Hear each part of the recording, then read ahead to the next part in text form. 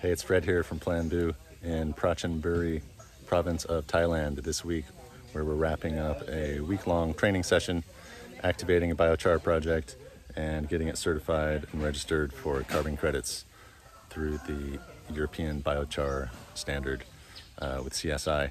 And we are really happy with the way things have been going here this week. The project really ticks all the boxes. As you can see, we're in the middle of the bamboo forest. This project uses for its uh, feedstock bamboo offcuts from bamboo processing facilities which surround this, uh, this area where we are. Um, you drive just a couple kilometers and you pull up any driveway and you'll find tons and tons of bamboo offcuts from where they're processing bamboo poles. Uh, each facility literally has half a ton, maybe a ton of offcuts per day, which uh, normally would get burned and sending smoke up in the air to prevent all that burning and air pollution. Uh, this project is turning those offcuts into biochar with the kilns behind me. Um, you can probably see those baskets behind me as well. They're filling those up uh, every day with biochar.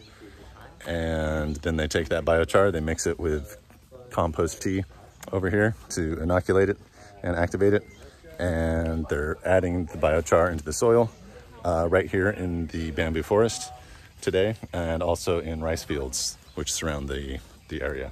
Uh, there's millions of hectares of rice fields, rice paddies in Thailand. So we're thinking that's going to be a really good application strategy to apply biochar, activated biochar on those rice paddies. Um, in the meantime, lots of people you can see working on this project. It's a, a little family farm here. We've got uh, eight or 10 people involved in the project.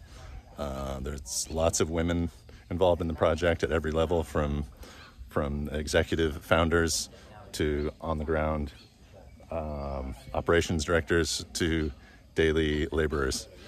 And they're all really happy to be working here. The, the project is creating jobs and capturing carbon and restoring agricultural land. And these guys really have a clean operation. We're really happy to be working with them. Stay tuned.